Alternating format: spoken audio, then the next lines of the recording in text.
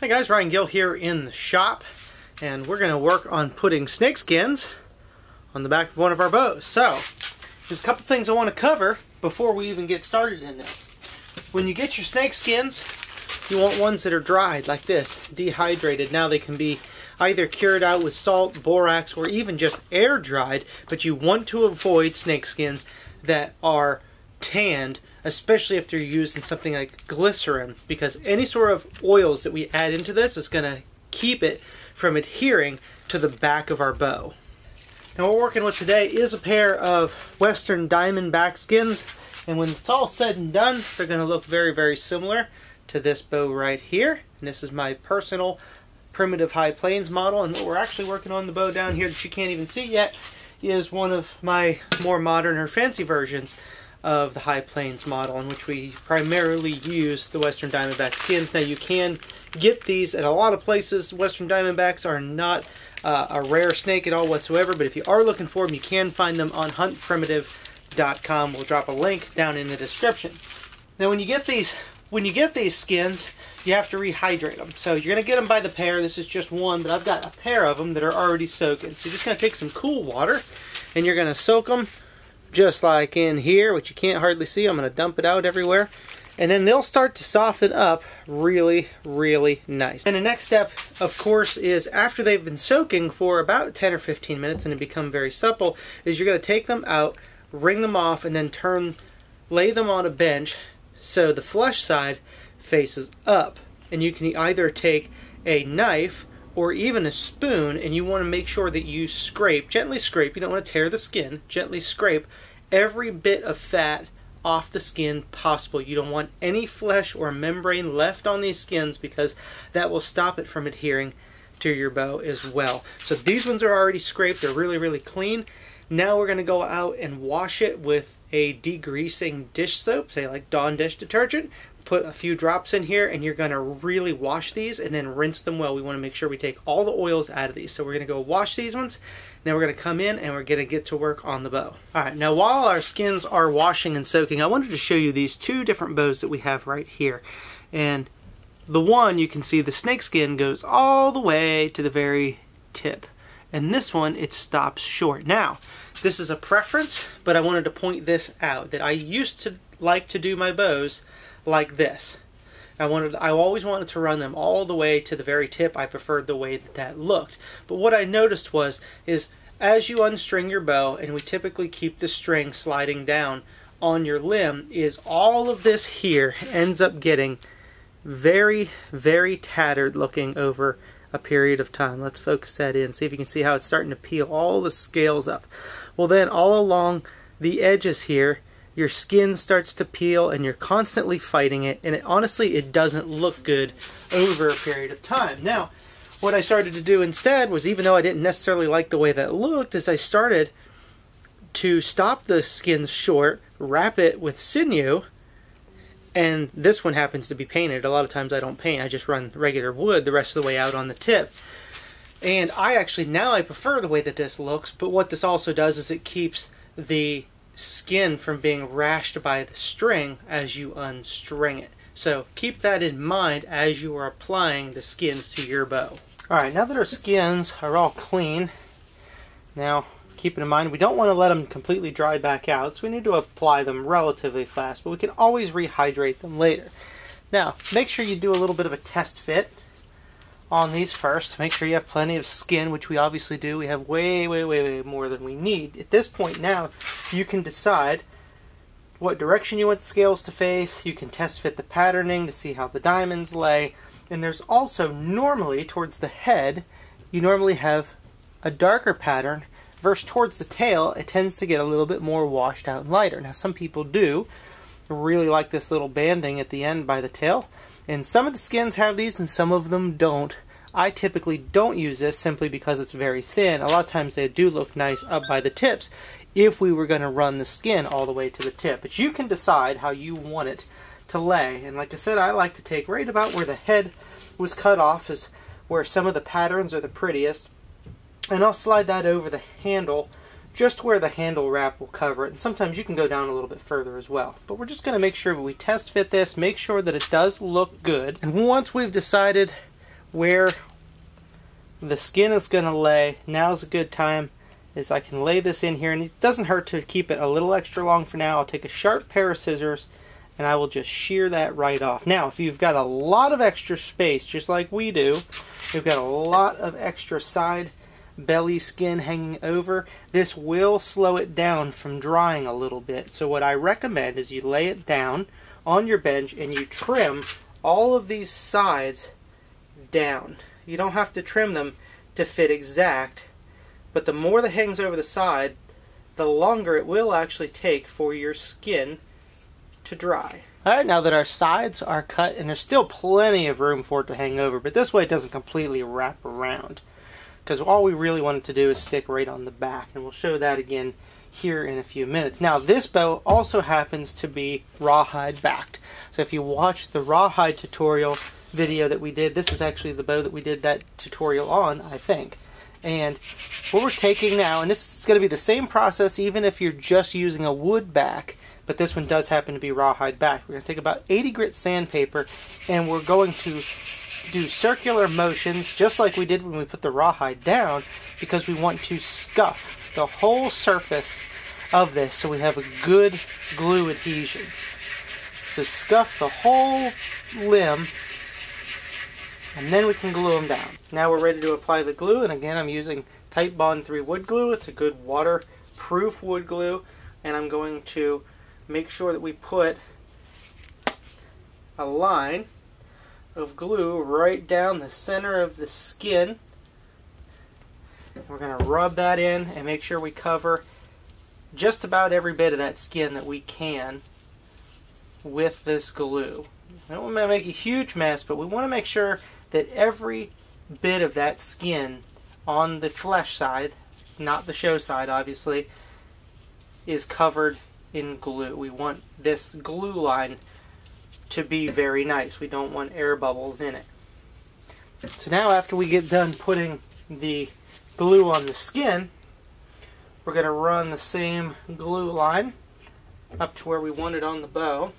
And we're going to massage that glue in to the back of the bow. You want to make sure that you get every bit of this really massaged in well with this glue. And try to keep it relatively thin, but you don't have to completely wipe it clean.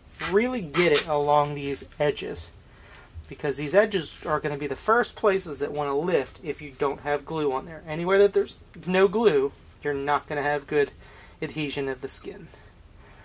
So rub that in really well. Now, it's as simple as taking your skin, being careful, of course, not to get glue all over absolutely everything, and lay it right on where you would like it to go. Roll some of that extra glue off your fingers. And now all you need to do is kind of work this skin around till it centers up on your limb. And a little tip that I've seen other people fail to do is they'll lay their skin down on the bow, but they don't actually look for symmetry in the diamonds. And they'll have the diamonds off to one side or the other side. And then when you trim these edges later, they're completely off the one side of the limb. So take good careful note that when you lay your skins down, to look for symmetry now, if you have wiggles in your bow, snake, remember, snake got wiggles too, you can maneuver this around. So if you have wiggles, don't put your skin straight. Take the time and taxi that skin around. That's where the term taxidermy comes from anyway, is taxiing skin. Taxi that skin around any little curves that you have. Alright, now once you have your positioning where you want it, now you're going to go along and you're going to work out every air bubble and excess glue bubble that you can find. And there's no sense being in a rush on this. I like to roll my finger and walk the glue or the air bubbles up.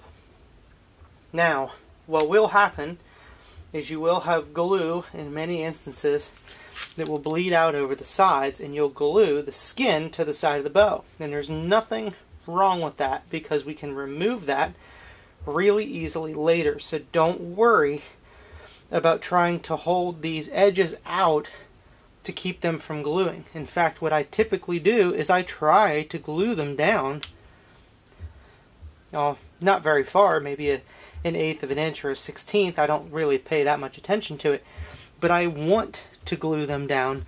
Now I know I have a good glue line, because if you try to pull these up right to the edge, you could have spots that don't have a good glue line, and you want to avoid that. So I don't mind folding the skin over the edges a little bit and then continue to work those air bubbles up and glue bubbles just like this and you're going to have all these little scales that it's going to pop off on you and that stuff's completely normal. I said we need to remove those later anyway. That's a very important part of this is removing those loose scales but we're going to do that later. Now decide where your skin where you want it to stop. Hopefully you marked it or you have rawhide like I do. Now you know exactly where you want it to stop. And we cut that off just perfect. And squish that extra glue down. And now go back over this three or four times. Make sure your alignment's where you want it to be. And also make sure that you have every glue and air bubble out of this. Do a good job now because trying to fix an air bubble later that's dry and in there and now you're trying to cut a slit and lift it and put glue in it and then fold it back down is not fun. So do a good job the first time. What, see all those scales coming off? I don't know if y'all can see them. Now's not a bad time at all. If loose scales want to fly off, let them fly off because we got to remove them anyway. So knock all that stuff off. You don't have to worry about getting them all off now, but We'll do that once it's dry. Alright, now this looks pretty good. I'm going to go over it probably two or three more times. I'm going to do the other limb, but I don't need to show you that. It's the same exact process. And we're going to let this dry overnight. And then we'll come back in the morning and we'll show cutting the sides off. And then we can be done.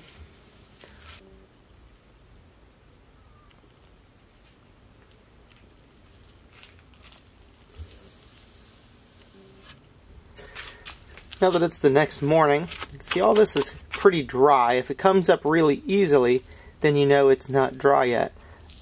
But if it makes the peeling sounds, then it should be dry enough. Now you want to be careful, you don't want to just go ahead and pull that straight up. You're going to work it up all the way up and down right until you have maybe just like a little sixteenth of an inch. You don't want to pull it straight up to the edge because if you do that you could separate it on the back. Although we work the glue line out really well, so we should have good glue adhesion on the back. And we didn't on the sides. So that's why the sides should peel a little bit easier than the back does. Anyway, so now once all this is pulled up all the way around, then you can take a very sharp knife and basically work right along that edge, just like that.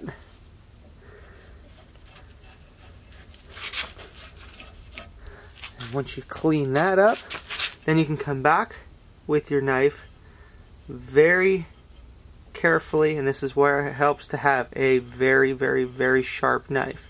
And we're not wanting to shave into the wood, we're just separating the glue line from the bow itself.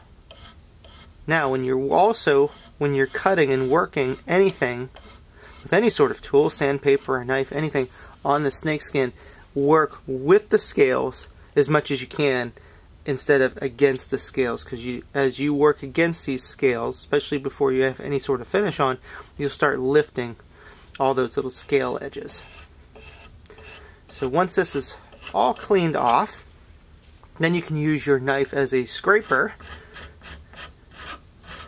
to scrape the rest of the glue off. And you want to make sure you do get all the rest of the glue off because you'll notice it when you put a finish on the bow that it won't look like the rest of the wood.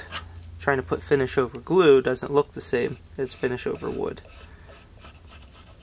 And then, once that's all scraped clean, then you'll be able to gently sand this and even sand, sand slightly over top of the skin to kind of bevel it in just ever so slightly.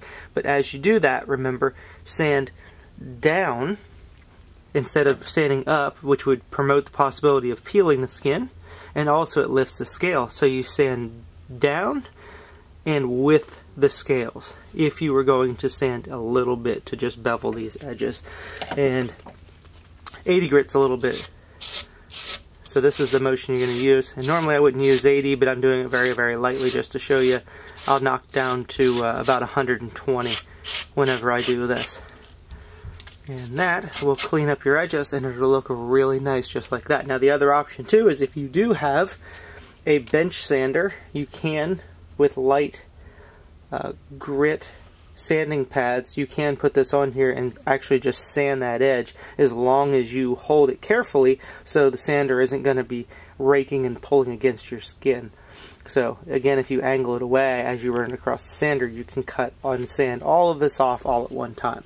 But for a long time, that's how I did it, and that's how most of you are going to want to do it at home because it's a little safer, a little bit easier, and that's going to give you a nice finished product for your skin. Now, after that's all said and done and you've trimmed the whole bow out, you're going to go with the scales, not against them, with the scales, with a fingernail, with your fingers, and you're going to you fan back and forth. But we got to get all these scales, these loose scales off, because when you apply a finish to this bow, any of these loose scales that are on here are going to take the finish with it whenever they do fall off. And they'll also, the ones that are stuck there, will turn milky and they won't look very good.